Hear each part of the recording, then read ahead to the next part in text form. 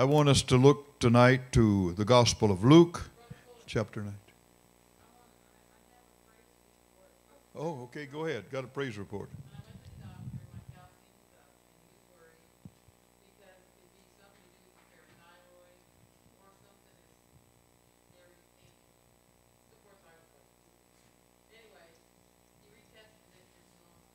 Praise the Lord. Hallelujah. Isn't that something? Praise God, praise God. Right, go ahead. Pastor Chance's mother Hi. needs a healing. They was telling me that yesterday. Wonderful. Praise the Lord. Thank you, Jesus. Isn't that wonderful? Glory to God. You know, she's eight. What? I can't hear. She needs to be healed. She needs Oh, oh, I thought she, she got, I thought you said she got healed. All right. I can't hear. I'm deaf in one ear and can't out the other. Speak it as though it is. What you did. What? I said you said you spoke it as though it was. Yes, and pray pray that I can hear. All right. Well, I got a praise report too. Uh, uh, Sunday morning, I was asking, I was telling about the Muslim lady, and uh, so um, while after I went to sit down, uh, Debbie, R.D.'s wife, she came and had a piece of paper said, uh, "Give this message to this Muslim lady," and uh, basically it, it said. um you know, uh, don't be afraid, have faith. The Lord said, I've sent angels to be with you, and uh, I'm with you. You're going to see great miracles. Not just you, but your family. Anything else can you remember? Their family was included, and it was just a very encouraging, and it was just right from the Lord. And then Debbie, after church, she she didn't even remember what she wrote because she was under the power. Of the, she was just shaking when she came over there, and, and tears in her eyes. So uh, I thought, now what's the best way to get this message to this lady? So uh, uh, she's on Facebook, so I sent her a private message. I said, "Is it? I, I've got a message from you from Jesus. It was given by someone in our church for you. Is it all right to send it here?" She said, "Yes." So I, I sent her that message, and uh, she said, "Thank you very much." But then last night she sent back. She said, "That has helped me so much." She said, "I want you to think that." She, Debbie's not here tonight, but uh, we'll tell her. But she said, "Thank her for, for that message, and I, I feel like it was for me, giving me directions what I need to do." And uh, I said, "That's right. That's exactly what the Lord wanted you to do, and uh, He's He's giving you you ins- instructions what what you to do with your life, and so and her family. So." she's very encouraged by it, and she told me, I mean, and I'm I'm hoping she'll be baptized one sometime. But uh, she told me she won't be baptized when she gets ready. Her husband is he's he's just that close. He's just really really close to coming coming to know Jesus. But it's it's a big step, you know, uh, for Muslims in parts of the world, even in America. Some of them get killed for, you know, they uh, live in their debt.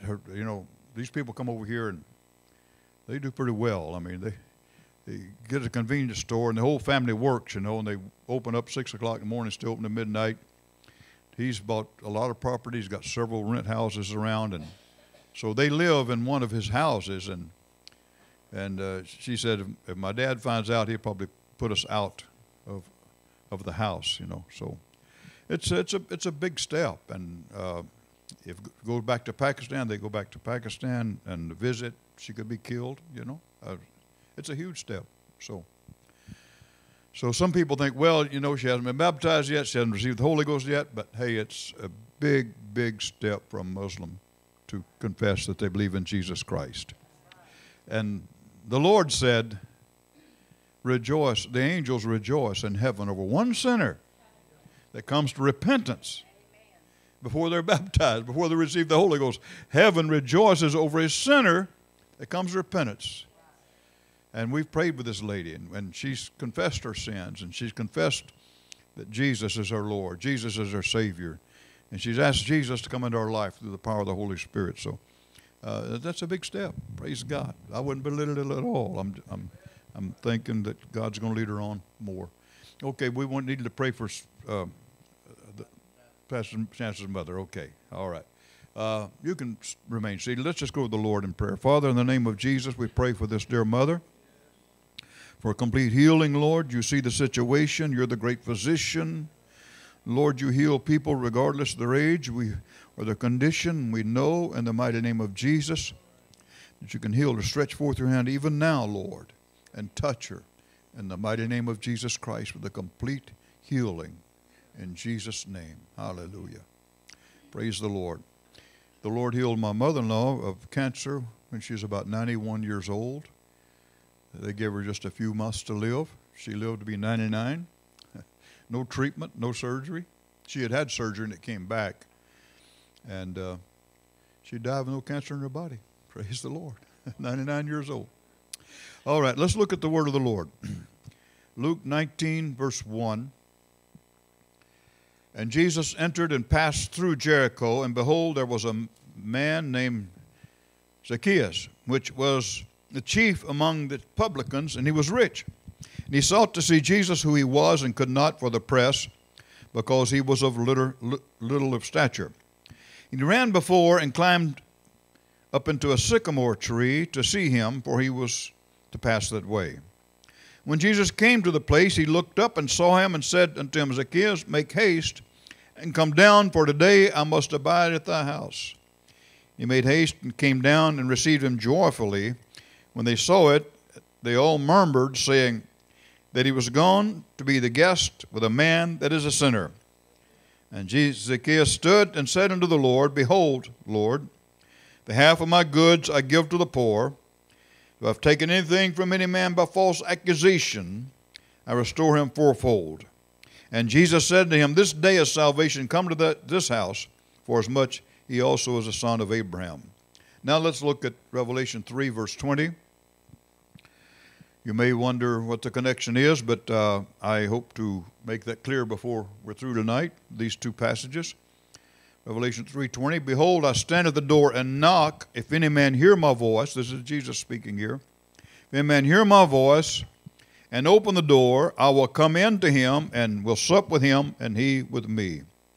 I want to call this holy desperation Jesus did something that seems to be out of character for, for, for the Lord he invited himself into Zacchaeus' house now I grew up calling him Zacchaeus but my wife informs me it's Zacchaeus. And she's usually right about things like that, so so uh, I, I will say Zacchaeus, unless I forget, and I may call him Zacchaeus. so uh, it's, it's kind of out of character for Jesus. You don't find him inviting himself into people's houses, you know, and it, it, usually he waits for an invitation. Like uh, in Revelation chapter 3, verse 20, he says, I stand at the door and knock. If any man hear my voice and open the door, I will come in and sup with him and he with me, or fellowship together. Now, someone saw this picture, and this is a famous artist, and you, you probably have heard the story, a famous artist uh, conception of Revelation 3.20 of Jesus knocking on the door. And, and somebody looked at the, that picture one time and said, that artist made a terrible mistake. He didn't put a doorknob on the door. And somebody said, no, that's not a mistake at all. The doorknob's on the inside. It has to be opened from inside. Jesus doesn't open the door. He waits for you to open the door for him.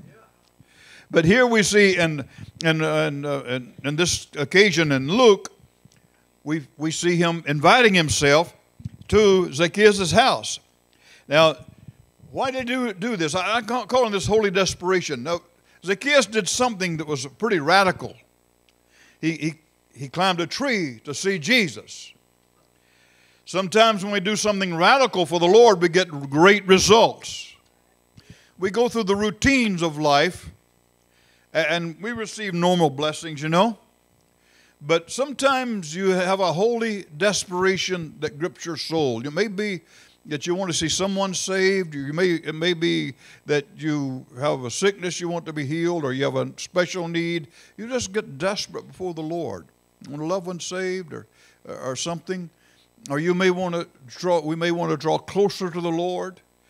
There, has been times in my life that I, I, I got, you know, very concerned and I thought, Lord, I, I don't feel your presence like I, I want to feel your presence.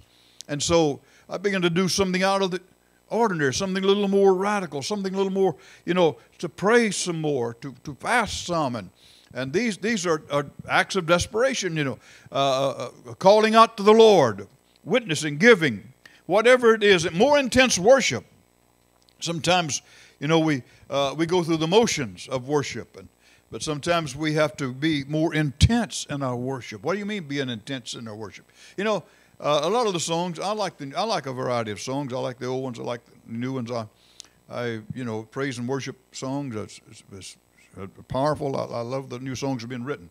But uh, uh, some many of the old songs, you know, we don't even have to think about. It. We can our mind can be on vacation, and we can just sing those words because we've heard them all of our life, and we've sung them hundreds of times. We don't even know what we're. I, I say we. I should say I. Don't even know what I'm saying sometimes. I'm just singing it because I know them so well. And uh, I was preaching a revival up in Tennessee, and and uh, there was uh, a family, a group of people that got up to sing. I don't remember if it was quartet or, or something, uh, and uh, they were very talented. And uh, it was one of those old old songs. And I'm not against old songs, but I sat there and I thought these people seem sincere. They're very talented. You can play the guitar very well, um, and you know, gifted. But I don't feel anything. And nobody else seemed to be feeling anything. I said, Lord, what's wrong? It just seemed like He spoke to me and said, These people have sung this song so much, they don't even think about what they're singing. You know, it just just comes out, becomes such a habit, such a part of you. And uh, I go I go through things in, in my life. Sometimes I, I find myself singing some of these old songs that I haven't heard in a long time, and they bring a blessing. But uh, we have to become desperate sometimes for the Lord. So become more intense in our worship, more concerted in our efforts to, to worship the Lord. And uh, you know, the Bible says, sing a new song unto the Lord. What are we talking about? Holy desperation. Sing a new song, you know. I like to do some things a little different in my own devotional time with the Lord. And, and so sometimes I'll make up a song. Just make one up. I'm not a songwriter. Probably nobody else would get anything out of it. But it means something to me. I just make up words and sing them to the Lord because the Bible says sing a new song. And sometimes when I'm reading the scripture, I'll, I'll, I'll sing what I'm reading. And I like, was reading, I like to have a devotional time by myself. You know, my wife says, You can't sing. I said, Yeah, I know that. There's only one, there's only one that likes my singing, and that's Jesus. And he likes it so much, he just draws real close when I sing. I guess that's one, one reason Brother Davis and I were such close friends. Neither one of us could sing. I stood by him one time during service. I thought, man, he's worse than I am. but uh, sometimes we have to get uh, desperate, you know, to, to, to get results we want. Now, Zacchaeus was short, the Bible said, he couldn't see over the crowd. Verse 3 of Luke 19 he says he could not see for the press. Now he Jesus healed a blind man uh, there at Jericho named Bartimaeus. But Zacchaeus was blind in one sense of the word. He couldn't see he couldn't see over the crowd. The Bible says we have all sinned and come short of the glory of God. So his eyes were so close to the ground that he, he couldn't see above. Too many people around him, you know. So he he did something out of the ordinary. So the Bible said that Jesus was passing through Jericho. Now, according to that, if you read the, ver- the first verse, he was passing through Jericho. He had no intention, it seems, from that uh, of stopping, of doing anything. He was on his way somewhere else. Jericho was just a spot in the road on his, on his destination, on his journey. But there were two desperate people there that delayed him and slowed him down to where he was going. Where was Jesus going? He was going to Jerusalem and he was going to be crucified. So, uh, so this man, this little man, short of stature, did a radical thing and got Jesus' attention and slowed him down, even enough time to have a meal at his house. We do radical things sometimes. Repentance is radical because it brings a radical change in our lives that we give up some things, you know, and uh, we lay aside some things. And, uh, you know, some people do a, Daniel's fast, and I've heard people make fun of the Daniel's fast. Hey, that's hard. A Daniel's fast is hard. I just about soon almost a fast complete without any food is try to do a Daniel's fast. That's that's tough, you know. And but I've heard people make fun of it. I don't accomplish anything. Well, sure, it accomplishes anything. Something. Some people say, "Well, I'm going, I'm going to give up the internet for a while." Whatever you do, and spend that time for the Lord. Whatever you do, something radical, something different, to get some results. Amen. So, uh, as Jesus was on the way through this place, he, the Bible tells us in verse 2 that Zacchaeus was chief uh, among the publicans and he was rich. There are three things we find out in verse 2, this very, very short verse. That uh, first thing when I find out about him is his name is Zacchaeus. What does that mean? Zacchaeus means pure or innocent. Now, he was everything but pure and innocent. and, you know, when his, he was born, his mother and dad looked down at that innocent little face, you know, and looked so innocent and pure, they named him pure, Zacchaeus. But the people in Jericho didn't think he was very pure. He, he, he was a tax collector, a publican. Now, I didn't say Republican, he was a publican. He wasn't a Democrat either. He was, he was a publican, which meant he was a tax collector, and the Bible said he was a chief among the tax collectors. He was over a bunch of tax collectors. So, what, what does that mean? Okay, it meant that he worked for Rome.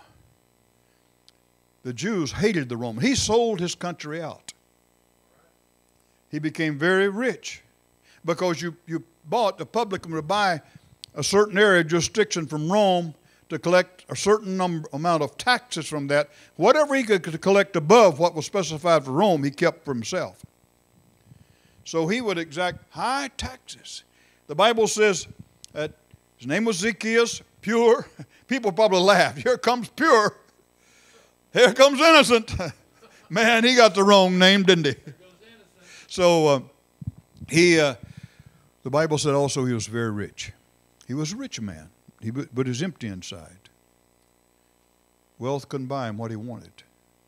The third thing we find out about him, this verse, being a publican, he was ostracized from the temple. He could not get in the temple because he betrayed his country, sold out to Rome, and here he was, a tax collector.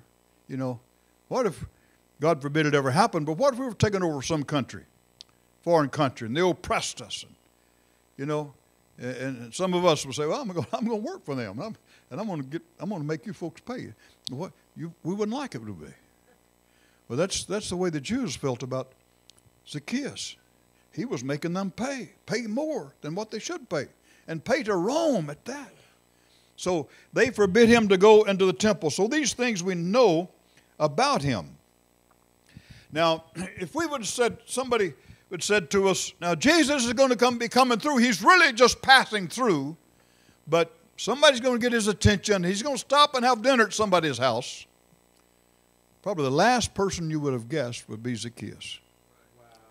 Now, Jericho was the city of the priest. What does that mean? It was a city, there are certain cities set aside in Israel that were for the Levites, that was theirs. They owned it, that was their city. So there are a lot of religious folk in that city. A lot of people that would seem to be spiritual. A lot of people that would go to the temple and do sacrifices and everything like that. If Jesus is going to visit somebody and eat dinner at somebody's house, Ah, it would be one of the priests, it would be one of those Levites, because they're very religious and they're spiritual. But he said, no, it's going to be a publican, Zacchaeus. Oh, people would have been aghast. They would have been shocked. Jesus is going to eat. You know, Jesus has time for everybody. I think about the Lord Jesus Christ and how he tracks people, you know. There was a man called, called Simon Zelotes. That wasn't his last name. That describes who he was. Zelotes, that is zealot. He was a zealot. That would be like uh, Ku Klux Klan or the, maybe that's a little far out, but It, it, it was a, a, a, a very, very patriotic. So those on the extreme right, you know, we have conservatives and we have liberals. Well, this guy would be a extreme on the right side. He anything that smacked of a loyalty to another country, man, he would be ready to kill him. Simon the Zealot. He hated tax collectors more than anybody else because he was a zealot. But he was a disciple of Jesus. And then you have Matthew, Levi. Who was he? Well, he was he was like Zacchaeus. He was a tax collector. These two guys, one from the, one extreme and one from the other extreme, in fellowship every day. And we never read where they failed to get along. they had different political views. You know, Matthew or Levi would say, well, you know, might as well try to get along, along with Rome. They're, they're here and they own us, so we might as well try to get along with them. But uh, that was his background. And Simon's background said, No way, let's rebel, let's revolt, let's, let's kill those Roman soldiers, let's drive them out. But they found common ground at the feet of Jesus. Isn't that just like us? Amen. The church. We may have different views about certain things, but we get a, we love each other, don't we? And socially, we may be, you know, different. There are people come in. There's people, been people come in here that's homeless. We've had people, homeless people, come in here, and they were loved and made to feel welcome. And we had a very wealthy couple that came here a couple of Sundays ago, and they were touched by the Spirit of God. At the feet of Jesus, there's common ground. You see, a zealot and a tax former tax collector together every day and never a problem. Praise God. That's the way it ought to be. Amen. We all love each other. We're diverse. We love each other because we belong to the same family. Now, Zacchaeus, he, he climbed a sycamore tree. Now, a sycamore tree, we, we had one in the front yard and one in the backyard. When we moved where we are, both of them died, and we had to uh, do away with them, cut them down. But a, a sycamore tree is slick bark. It's hard to climb. It's a long way to that first branch. And this guy was short. You know, you can just imagine. Just here's what would you what would you see think if there's a parade coming down the down the road and here's a, a rich man, you know, in a three-piece business suit. He's running down the head of that parade. He's he's got to find a place. And he finds a tree and he's jumping up there, dressed up in his suit. I think, man, that guy's crazy. That's how desperate he was to see Jesus. The Bible said he ran ahead of the crowd. You can see that guy running out there. In the eastern part of the world, men didn't run. Very, very seldom did a man run because that was a show of lack of dignity. A man was to be dignified. So in the eastern culture, it was very rare for a man to run. But I think of two cases in the Gospels where men ran. One was the prodigal's father. It was very, very uncommon for any man to run, but an old man, it was very, very, especially uncommon for an old man to run. So the prodigal's father, who represented God, when he saw that son returning from the far country, what did he do? He ran to meet him. Amen. That's how anxious the Father was to restore that fellowship. That's how much God loves us. The, the prodigal's father, he forgot all about his dignity, you know, his status in the community. If there were neighbors around, they looked out the window and saw him running down the, that lane there, you know. What in the world has got into him? You know. Well, his wayward son has come home. That's what's got into him. You mean the one that spent everything that he had, all of his inheritance, wasted all that money his dad gave to him? He's running to meet a guy like that? Yeah, that's how much a father loves him.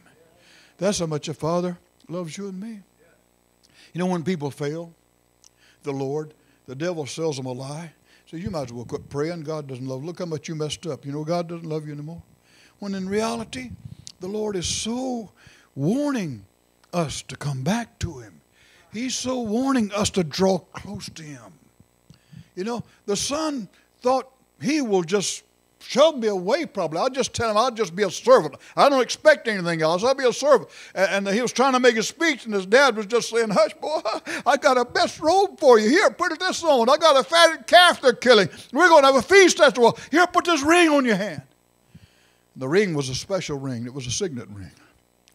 In other words, he has opened up his bank account again to this prodigal son who had just came back home.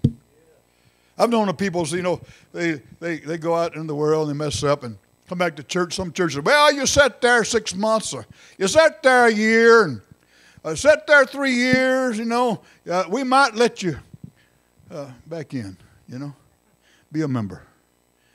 But man, the Father put that ring, that signet ring, which he could transact all, but all of the Father's wealth was at his success because he had the ring. That's how much God loves us. And then we see the other man running was I can think of is Zacchaeus. I don't know of any other. Maybe you do, but that's all I can think of. He ran ahead of the crowd. He ran down there to climb a tree. Zacchaeus was acting like a little boy. You know, here's a grown man, dignified position. Probably the richest, if not the richest, one of the richest men in Jericho. And he's staring down the street running for all he's worth. And he sees a tree, and the man, he's jumping, trying to get up there. And he finally catches it, and he, he climbs up there, and he probably figures he's hid among the you know, sycamore tree leaves are very big leaves, you know. So he probably thought, man, I'm hid here. Nobody's ever going to see me. I, I can get a good look at him when he passes by. And, uh, you know, he probably doesn't have time for me. I'm a tax collector, you know, and he's, he's the Messiah, and he's going to, you know, at that time they thought what the Messiah was going to do is going to kick the Romans out. Messiah was going to bring in an army and drive all the Romans out, you know. And that's so he, he's Zacchaeus. Can you get his mindset? I work for Rome, so he doesn't have time for me, but I want to see him. Holy desperation. And as I began to study this, I saw things I'd never seen before, never thought of before. But when Jesus got there and Zacchaeus thought he's hidden among the foliage of the tree, Jesus stopped and looked up. Zacchaeus. How did Jesus know his name? That's right. He knows everybody. I never noticed that before. Jesus has never met Zacchaeus before, as far as we know. But he called his name Zacchaeus. Come down. Make haste. Hurry up. Hurry up. Come on down. Out of that tree because I'm going to go to your house today. He invited himself to Zacchaeus' house. Now, Zacchaeus in his wildest imagination, what do you want out of this trip? What is your highest expectation of getting up in that tree? What is the most that you would expect? He probably would have said, knowing his mindset and what how they viewed things in that part of the world, their culture and everything. Well, I, just want to see him. I've heard he's healed blind eyes. I've heard he's caused the deaf to hear and and uh, lame to walk. I just want to see somebody like that was Zacchaeus, do you think he'll stop and talk with you? Oh, no, no, he, he, he wouldn't have time for me. But lo and behold, Jesus stops on that tree, looks up at him, says, Come on down. Be quick about it. Come on, come on down, Zacchaeus. We're going, I'm going to go to your house today. He invited himself. Let's look at Luke 8, 7, 18, 17.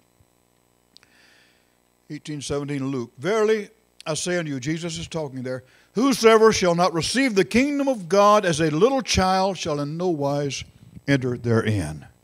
We come to him as a little child. Amen. Come to him as a little child. That's what Zacchaeus was doing. Running, climbing a tree, like a kid trying to get a good spot for a parade. You know? Like a little child. The Bible says that's how we must become as childlike in our faith. I, have told this story many, many years ago. Some of you probably might remember it, and I've done similar things since. But, but uh, like I say, I get a little crazy sometimes with devotion to the Lord, and so you know, I like to I like to pray with my wife. But I, I really, uh, when it comes to baring my soul before, I like I like to be alone. You know, I might want to do something crazy. You know, so I. Uh, they were all going to bed one night. All, all of our kids were home. So I put on a pot of coffee. That was really burdening. We hadn't been pastor of the church there too long across town, and uh, things things are pretty difficult. I remember owed a lot of money, I got a phone call. People found out the new pastor was here, and they held bonds, you know. Well, maybe get get her money, and they knew when church time was. It was Wednesday night, Sunday morning, Sunday night. So I get phone calls. Hey, you new pastor, I want my bond. Pay off my bond for me. So I'm trying to get, you know, ready for church, and one night, I believe it was a Wednesday night, phone rings. And this guy says, uh, I'm Mr. So and so, certain bank here in uh, Waco. He said, I understand you're the new pastor. I said, Yes, I am.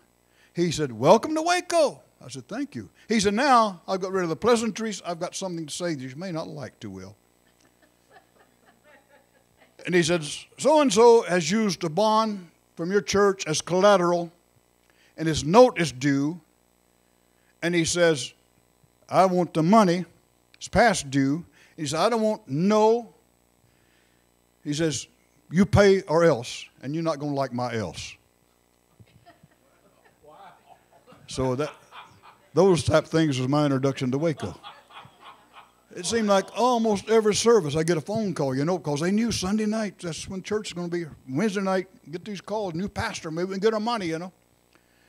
I remember my mother came through and she said, Son, how's things going? I said, Mother, I'll tell you what, I got a call from the banker here. I got to have $2,000 down at the bank or else. And I already been to the church so many times, they've been so good. Church folks have been so good. I mean, we're always taking up offerings, it seemed like. And she says, Well, son, how much is it? I said, $2,000, mother. She says, Well, I'll write a check for it, son. She wrote a check, 2000 So things were kind of tough, you know. So I, I was under a lot of pressure. And so bondholders called, man, bondholders. And, and a lot of folks didn't like me too well. that's, that's, neither here nor there. But, but uh, I, I, uh, I was desperate one night. Everybody going to bed. So I thought, I got to do something. I got to do something. I prayed and said, Lord, let me leave here. And the Lord said, You can't leave. The Lord said, I called you. You can't go. I get, in that office I pray and said, Lord, let me leave. I can't, I can't stay here. I, I know I made, I made mistakes and everything. But I said, uh, I just can't, I just can't make it. The Lord said, This is where I want you stay put. Stay here. So one night I made a pot of coffee. They're all going to bed. I had to do something radical. I needed help, you know. I needed help. I get up to preach. Sound like the sermon went over the side of the pulpit. I mean, I didn't feel anointed. No wonder they didn't like me. I, I couldn't be anointed no matter what I tried. And so I got a call to come preach a rally over at Walnut Springs. And all week long, I thought, I, I, I can't preach. Why do they want me to preach a rally? And I debated. I said, I should call and tell them to get somebody else. And I, I go, I pick up the phone. I, I don't know. Even to Friday, and I finally I thought, well, it's too late to call. I got to go preach. Man, I got up to preach. I thought I was going to explode. Anointed. Wow. I said, I got it back. Praise God, I got it back. Sunday morning, I go to church all excited. Boom. Boom. Right there. So, no anointing. Nothing. Dry. Dry as corn shucks. People didn't get anything out of it. You know? God wasn't anointed. So I made that pot of coffee. I'm desperate. The Lord says, You got to stay here. You can't leave. This is where I want you. So I poured two cups of coffee. I went to the head of the table where I normally sit, and I said, Jesus, pull out a chair. I said, Would you please sit here? Have a cup of coffee with me. I got to talk to you. I poured myself a cup of coffee. I went around and sat where one of the kids sat. And you know, sometimes we pray, and sometimes we agonize before God. We scream and we get loud. Sometimes we just need to have a little talk with Jesus. Just a little talk with him. Said, Jesus, please let me talk to you. I just talk to him, just quiet, just like I'm talking to you. And Lord, I'm discouraged, and we got all these debts, and people are calling, trying to collect money. I can't get anointed.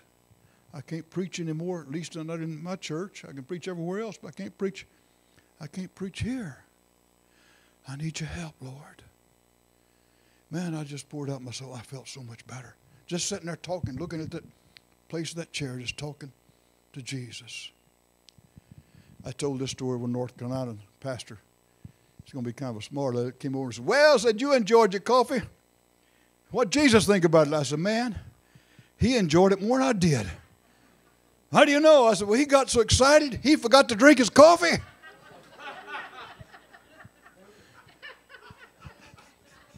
and I said, "Jesus, if you're not going to drink that coffee, I don't want it to go to waste. Can I have it?" So I drank my coffee and drank Jesus too. I said, How do you like man? He, he liked it. And somewhere along in there was a turning point. Somewhere the anointing came back. And, and somewhere I, I could preach again and folks get a little something out of it. Praise God. So Jesus knew who he was. Zacchaeus, come on down. I'm going to I'm to go to your house. So everybody was shocked. You know, he's going to a publican's house to eat, you know. That'd be about like a, you know, Democrat and Republican sitting down to dinner, you know. Just be about the size of it, you know. So uh, here they're sitting there and just enjoying a good time, a good meal, all that. Verse 7 of Luke 19. And when they saw it, they all murmured, saying, There's going by to be a guest of a man that is a sinner. And Jesus stood and said unto the Lord, Behold, Lord, the half of my goods I give to the poor. If I've taken anything from any man by false accusation, I restore him fourfold. Now, he was, people made fun of him, uh, or, or ridiculed rather. Jesus going here uh, said he shouldn't have done it. Going to the center, they got plenty of priests here, they got plenty of Levites. Why didn't he go to Levite's house? Well, they're too stinking self righteous, that's why. they feel like they're good enough already. Jesus is looking for some sinners he can bless. He said, I didn't come to call those that are well to, to uh, uh, minister to, I came to call the sick. Reminded of the story the uh, preacher went to preach in prison. And he'd walk along after, after the service and talk to him through the bars. As, he said, Pastor, I'm, I'm here, I'm falsely accused. I didn't do what they accused. One after the other, stories like that. I shouldn't be here. He came to one cell and there's a man just booing, just crying his eyes out. And the preacher said, Why are you here, son? He said, I've done so many bad things that I've got what I deserved. I'm here. And I, I just, he said, Praise God, thank the Lord. Said, Why? You, you can get help. God can't help any of these other folks. They think they're innocent. But you know you're guilty. You know you have a need.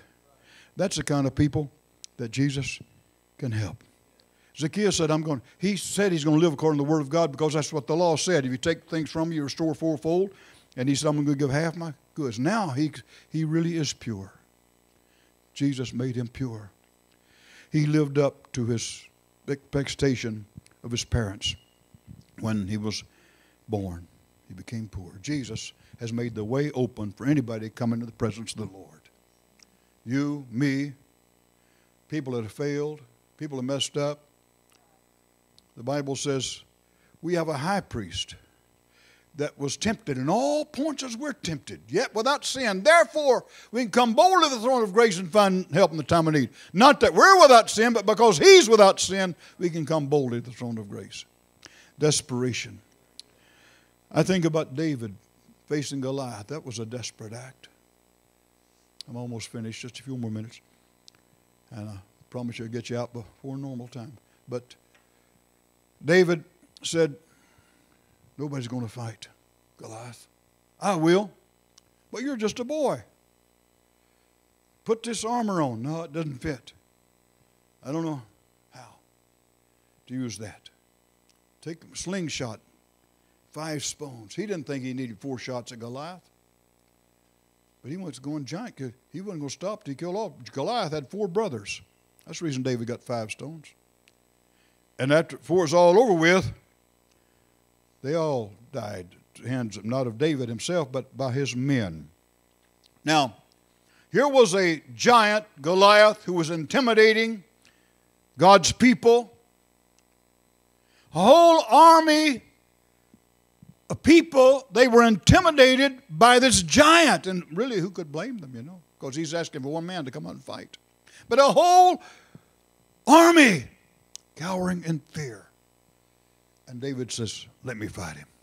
Now that's pretty radical. With a slingshot, a stone. But he had something else that the giant couldn't see.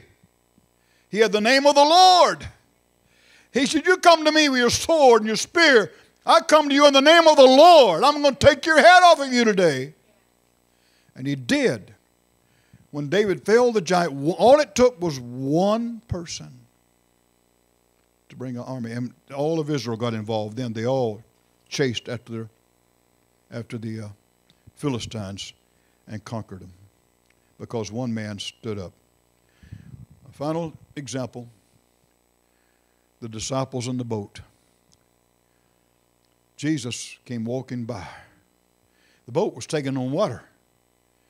It looked like for all the world they were going to sink. And Jesus came by, and he would have passed them by. Jesus goes where he's invited. That's the reason it's so surprising he invited himself to Zacchaeus' house. But he would have passed by. Somebody says, It's a spirit, it's a ghost. And somebody says, Well, it looked kind of like Jesus. Well, it may be the Lord. Jesus, is that you? Yes. Peter said, Lord, if that's really you, let me come to you on the water. Come on. Now, that's pretty radical. Here the waves are tossing to and from the wind is blowing. Peter gets up the side of that boat. He jumps off. Huh, man, it's like this floor under me. He begins to walk to Jesus. The disciples, they said, We want to stay where it's safe in the boat here. Safe. The boat's going to sink. The only safe place was out there where Jesus is. So Peter said, I'm going to go where it's safe. I'm going to go out there where Jesus is. Something radical. But, but oh, some people say, oh, he, but he began to sink. He, he sunk. Yeah, he did. He walked a little while. Man, they used the nets and they finally found old Peter's body, drug him out. Jesus preached his funeral. So he tried to walk to me, but man, he drowned. That's not how it ends, is it? I wished I could have helped him, man. He tried. No. That's but you're some people tell it, you know. Well, he walked on the water, but he sunk. What he walked on the water twice. He didn't sink the second time. Well, some people say, How do you know I walked on the water twice? How do you think they got back in the boat? Right. They had to walk on the water back. To the, the reason he didn't sink this time because Jesus is holding him up. Praise God. The only reason he sunk the first time was because he took his eyes off of Jesus a little while. And that's what happens to us when we take our eyes off of Jesus for a little while. You're going to sink, you're going to go down. But all you got to do is look back to him and say, Hey, Jesus, please help me. He's not going to let anybody drown that's getting out of the boat to come to him. You know, the people in the boat, you know, they never got out of the boat. They don't know the exhilaration of Peter's the only man other than Jesus that knows what it's like to walk on water. At least I don't know of any of them. Well, desperate situations. David saved Israel. One man act. Peter saved 11 other men beside himself that night. One man took action. All of them were going to drown. But he got out of the boat and went to Jesus. In these three things here, I see in Zacchaeus, David, and Peter, I see an example. Something significant. Zacchaeus represents us individually. We all have needs from the Lord. Doesn't make any difference how spiritual you are, how much you read the Bible, come to church. Oh, that's good and fine, but there comes a time, a crisis time in your life when you really need Jesus. One preacher said it like this about trials. There's three things about trials. Either you're in one, or you just came out of one, or you're getting ready to go into one. So we need Jesus as individuals. So sometimes it takes a desperate acts. David and Israel, that's the type of the church. All of Israel, they were intimidated until David stood up. How many will it take to bring revival? Wouldn't it be wonderful if we all you prayed as much as we should, fasted as much as we should, faithful as much as we need to be? Every one of us. Wouldn't that be wonderful? But you know that rarely happens. But one person can make a difference for a whole church. One person can make a difference for the whole church. Y'all remember Sister Bessie? I remember Sister Bessie. She worked for Brother Davis and worked for me until she got such poor health she had to she had to quit. Bessie was a prayer warrior. Oh man, was she a prayer warrior. One day there's a knock on my door, and I opened the door. The salesman standing there, he was as white as a sheet. He was scared to death. He came by a salesman, and others out of that prayer room, Bessie was praying. And man, you've ever heard Bessie pray? Wow. I mean, she prayed, uh, not a whisper. I mean, she got desperate. She was crying out to the Lord. This man never heard anything like that. Scared him to death. So it came, it came on in, you know. He got an introduction. Praise God. First Pentecostal church. Man, they pray here. But, you know, Sister Bessie died. I was, after a while, things were getting kind of rough and things happening. And why is this happening? Why is that happening? You know? Why? Why are things all of a sudden just begun to seem to come apart at the seams? And the Lord spoke to me. Nobody's taken Bessie's place. Nobody's took Bessie's place. What did Bessie do? She wasn't a very good bookkeeper. She didn't know how to file stuff. She knew where it was, but nobody else could find it.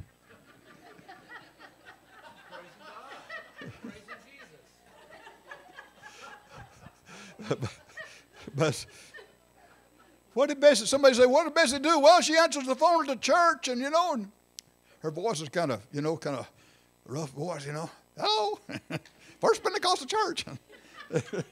I'm not making. She was sweet. I'm not making fun of her, but her voice wasn't really that pleasant, you know, as far as answering the phone. File, she get. What did Bessie do? Bessie was a prayer warrior. Yes. Bessie held the church together with her prayers. Amen. And I said, Lord, why are things happening like they are? Nobody took Bessie's place. Church, 150, 200, 300 people. One person. I mean, man, everybody's important, don't get me wrong. But that one lady, she knew how to pray, man. She knew how to pray. I remember, don't try to guess, you probably can guess who it was, but I'm not going to tell. A man called me up. He's Brother Fuller, I got to meet you. I said, okay, where can we meet? I said, well, uh, Barnes and Noble will be all right. So I met him Barnes and Noble. and He said, man, I got to apologize to you. I said, what's wrong? He said, I got a call from Bessie today. Man, she chewed me out. She said, you've been criticizing my pastor. You call him and apologize to him. Wow. Wow. so I wasn't planning on telling that, but that was Bessie. You know, she held things together. Praise God. You know, you said something last night when you started to preach. Anybody ever criticized Brother Chance? You know, you're going to have you to deal with. Well, you know, that was Bessie, man. You don't criticize Pastor. You don't criticize Brother Davis. You don't criticize Brother Fuller. Because you'll get a phone call. You go apologize to my pastor? And this man was sweating, man. He wasn't afraid of me. He was afraid of Bessie.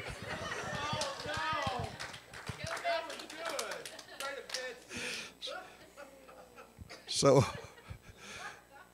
Bessie, Wasn't much of a secretary. Wasn't much of a filer. Really not that great answering the phone, you know. what do you want?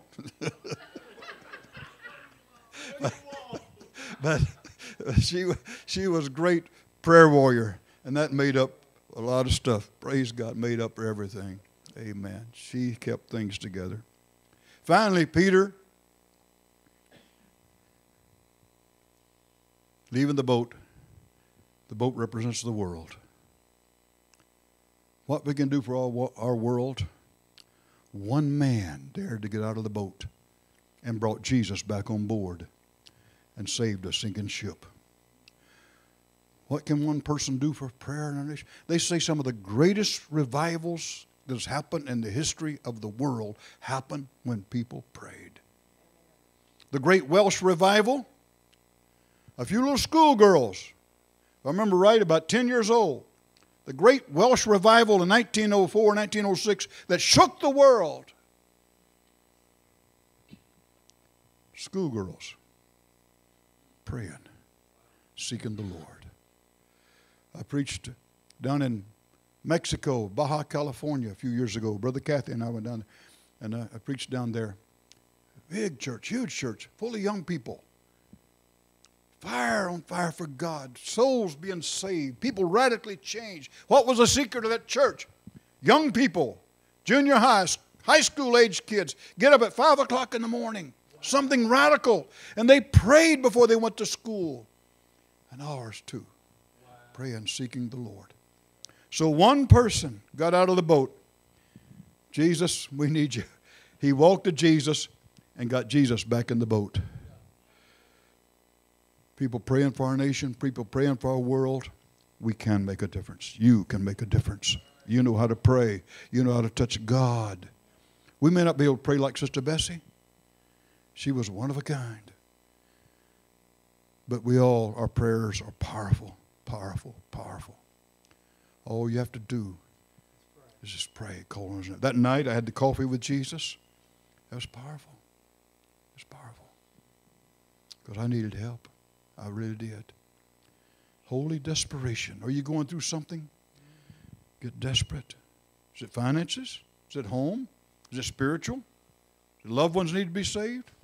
Get desperate before the Lord. Pray a little more, fast a little more, whatever it is. Let's stand together. God bless you.